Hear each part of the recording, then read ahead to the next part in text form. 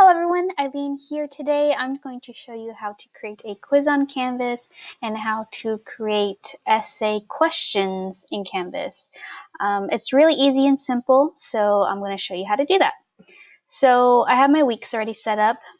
Um, what you're going to need to do is click the plus sign and right here where it says add, you're going to create a quiz and new quiz and I'm going to name this quiz article response.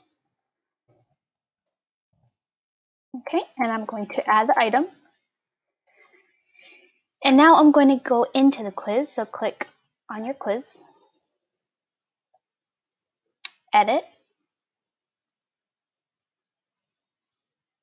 All right, at this point, you can write the directions in here.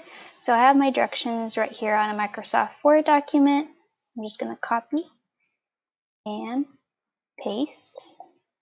So basically my directions read, read the article, seatbelts are intrusive, and answer the following questions. Now they're going to be open-ended questions, um, so the students can write an essay, uh, a text response. Um, basically here you fill out the due dates, available time frame. If you need to extend um, for some students, you can click on add, but I'll show you that at a later date.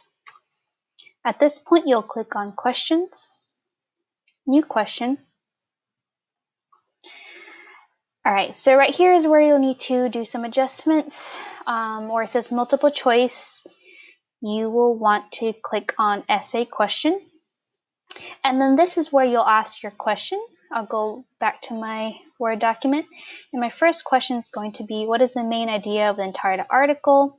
Answer in three to five sentences. Copy it and paste. And you're going to have to click update question. If you don't click on this, your question won't be posted. So click update question. Okay and I'm going to click save. Very simple. Now I want to show you what that looks like. So click on preview.